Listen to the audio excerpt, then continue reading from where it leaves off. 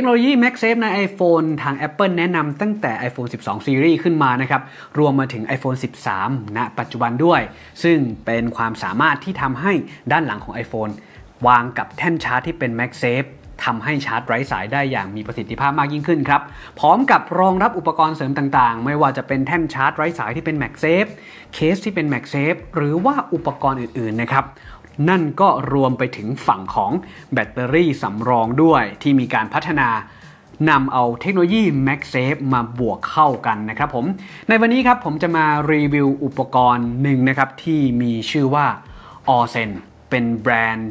จาก e r o มี 2 ตัวให้ได้ดูด้วยกัน ได้แก่ o r s e n EW50 และ o r s e n EW52 จากแบรนด์ e r o นะครับ แต่ก่อนอื่นครับ เรามาทำความรู้จักกับแบรนด์ e r o กันก่อนสักเล็กน้อยครับ แบรนด์นี้ครับผมจัดจำหน่ายในประเทศไทยมากว่า 10 ปีแล้วนะครับ นอกจากแบตเตอรี่สำรองที่ทางแบรนด์ e r o นั้นมีความเชี่ยวชาญเป็นพิเศษแล้วนะครับ ทาง e r o ยังมีการพัฒนาเทคโนโลยีใหม่ๆ ของสินค้าประเภทอุปกรณ์เสริม อย่างเช่น หัวชาร์จ สายชาร์จ เหล่านี้ด้วยเช่นกันนะครับ คนไทยส่วนใหญ่อาจจะคุ้นเคยกับแบรนด์ e-loop มากกว่า o s e n เพราะว่าช่วงแรกนั้นจะใช้ชื่อ e-loop เท่านั้นครับ ส่วนผลิตภัณฑ์ใหม่ๆ ที่ออกมาช่วงหลังๆครับ 2-3 ปีที่ผ่านมา จะเป็นยี่ห้อ o s e n by e-loop ทั้งหมด เพราะฉะนั้นครับ ถ้าเห็นสินค้าที่เป็นรุ่นใหม่ หลังจากนี้ไป แต่เป็นแค่ยี่ห้อ e-loop อย่างเดียว ให้สังเกตได้เลยว่าอาจจะเป็นสินค้าลอกเลียนแบบนะครับมาเริ่มต้นที่ o s e n EW50 ครับตัวนี้เลยนะครับผม ดีไซน์ครับเท่าที่เราดูตรงนี้ ผมบอกเลยว่ามีขนาดเล็กกระทัดรัดมากๆนะครับ ด้านหน้า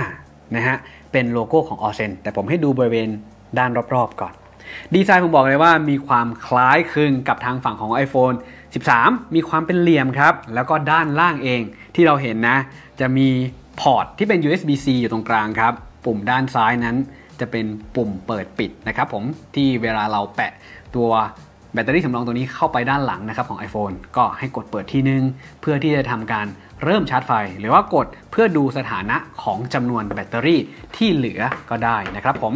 ซึ่งไฟ LED ตรงนี้ครับจะมีทั้งหมด 4 หลอด ซึ่งแต่ละหลอดนะครับผมจะหมายถึงจำนวนแบตเตอรี่ที่ 25%ครับ ดังนั้นครับ ถ้าหาก LED ติด 4 ดวงนะครับ นั่นหมายความว่าแบตเตอรี่เหลืออยู่ที่ 100%นะครับ ถ้าลดลงไปเหลือ 2 ดวงนะครับ นั่นก็หมายความว่าแบตเตอรี่เหลือ 50%นั่นเองนะครับ คราวนี้ ที่ด้านล่างนะครับ วัสดุตัวนี้นะครับผมเป็นแบบ PC แบบใส และเราจะเห็นวงกลมนะครับ ซึ่งเป็นสัญลักษณ์ของ MagSafe นะครับ ใน EW50 ตรงนี้ ด้านล่างตรงนี้ฮะทั้ง 4 มุมเลย จะมีปุ่มซิลิโคนยกระดับขึ้นมานะครับ เวลาที่เราติดตั้งแบตเตอรี่สำรองเข้าไปแบบนี้ครับ ก็จะมีส่วนที่เป็นกันชนนะครับ ไม่ทำให้ตัวเครื่องเป็นรอย อันนี้ถือว่าเป็นดีไซน์ที่ชาญฉลาดนะครับ การใช้งานง่ายมากๆเลยครับ เราแปะเข้ามาอย่างนี้เลยนะครับ แล้วก็กด 1 ครั้งเพื่อ เริ่มการชาร์จให้กับตัวเครื่องนะครับผมคราวนี้ครับเรามาดูสเปคคร่าวๆ ของตัวนี้ว่าเป็นอย่างไรบ้างสำหรับ o r s e n EW50 นะครับผมมาพร้อมแบตเตอรี่ความจุ 4,200 มิลลิแอมป์ครับ เป็นแบตเตอรี่ชนิดลิเธียมพอลิเมอร์นะครับ มีน้ำหนักที่เบา แล้วก็ทำให้จุแบตเตอรี่ได้เยอะ ซึ่งถามว่า 4,200 มิลลิแอมป์มากไหม ก็เปรียบเทียบกับ iPhone เครื่องนี้นะครับ iPhone 13 Pro Max สามารถชาร์จได้ประมาณ 60%นะครับหากเทียบกับ iPhone 12 13 mini ก็จะสามารถชาร์จได้ประมาณ 1 รอบหรือว่า 100%นะครับสำหรับการชาร์จผ่านระบบไร้สายนะครับผมสามารถจ่ายกำลังไฟได้สูงสุดที่ 7.5 วัตต์นะครับแต่ไม่ใช่ว่า รุ่นนี้จะชาร์จผ่านไร้สายได้อย่างเดียวเท่านั้นนะ เพราะว่าเขายังรองรับการชาร์จผ่านสายด้วยนะครับ ซึ่งช่องด้านล่างนะครับ มาพร้อมพอร์ต USB-C ที่เป็น Power Delivery สามารถจ่ายกระแสไฟได้สูงสุดในรุ่นนี้นะครับ อยู่ที่ 12 วัตต์ครับผม แต่ถ้าหากว่านำไปชาร์จแบบเสียบสายกับสมาร์ทโฟนฝั่ง Android ก็จะสามารถให้กำลังไฟสูงสุดได้ถึง 15 วัตต์นะครับ ดังนั้นในรุ่นนี้ครับจะรองรับการชาร์จ ได้ถึง 2 อุปกรณ์นะครับมากสุดนะฮะอย่างเช่น ตัวนี้ครับชาร์จ 1 อุปกรณ์แล้วใช่ไหมอีกอันนึงครับเสียบสายเข้าไปอุปกรณ์แรกนะครับเราก็ชาร์จกับ iPhone ในลักษณะนี้ครับและอุปกรณ์ที่ 2 เราอาจจะนำสายชาร์จของ Apple Watch หรืออันอื่นๆนะครับผมมาเสียบใส่ USB-C ได้นะครับผม ทราบสเปคกันคร่าวๆไปแล้วนะครับผมเรามาดูว่าอุปกรณ์ในกล่องที่เขามีให้นั้นเป็นอะไรบ้าง ในรุ่น o r s e n EW50 ตัวนี้นะครับผมสิ่งที่มีในกล่องนอกจากตัวแบตเตอรี่สำรอง ยังมีตัวนี้ฮะสาย USB-C to Lightning นะครับ อุปกรณ์ต่อมาเป็นสาย USB-A ไป USB-C นะครับ ส่วนนี้จะเหมาะสำหรับการชาร์จไฟเข้าแบตเตอรี่สำรองตัวนี้นะครับ และอีกหนึ่งสิ่งครับผมเป็นฝั่งของถุงเก็บนะครับ ตัวนี้ และจะมีคู่มือแนะนำการใช้งานนะครับ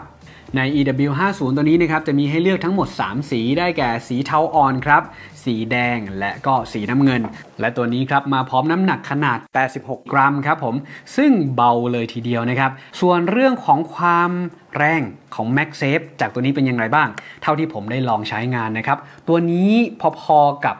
MagSafe Wallet นะครับเวลาที่เราติดเข้าไปนะครับผมจะมีความแน่นหนาสามารถดูดแล้วก็นี้ได้นะครับแต่ว่าถ้าเขย่านี่ก็จะหลุดนะครับผมน้ำหนักจะอยู่ราวๆนี้ และนอกจากนี้นะครับถ้าหากเราติดตั้งเคสของ iPhone 13 หรือว่า iPhone 12 Series ที่รองรับระบบ MagSafe นะครับเราก็สามารถใช้งานร่วมกับเคสตัวนี้ได้เช่นกันนะครับผม นอกจาก EW50 แล้วนะครับผมจะมีอีกรุ่นหนึ่งนะครับถ้าเผื่อว่าใครคิดว่า 4,200 มิลลิแอมอาจจะไม่เพียงพอสำหรับการใช้งาน ก็จะมีอีกหนึ่งรุ่นครับ EW52 ตัวนี้นะครับผม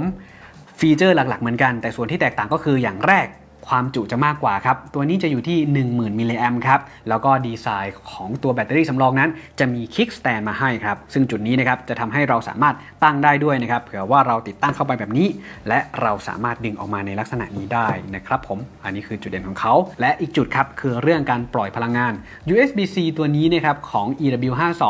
จะรองรับการจ่ายไฟแบบ fast charge สูงสุดอยู่ที่ 20 วัตต์นะครับผม ในรุ่น EW52 จะไม่มีเส้นเล็กนี้มาให้นะครับที่เป็นหัว Type C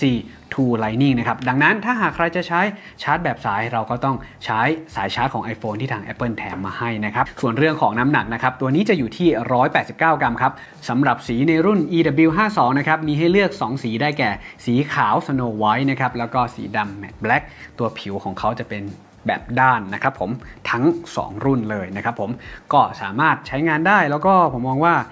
ป้องกันรอยขีดข่วนได้ค่อนข้างดีนะครับ นี่ก็เป็นดีไซน์ภาพรวมของ o s e n EW50 และ o s e n EW52 นะครับ หลังจากที่ได้ทดสอบใช้งาน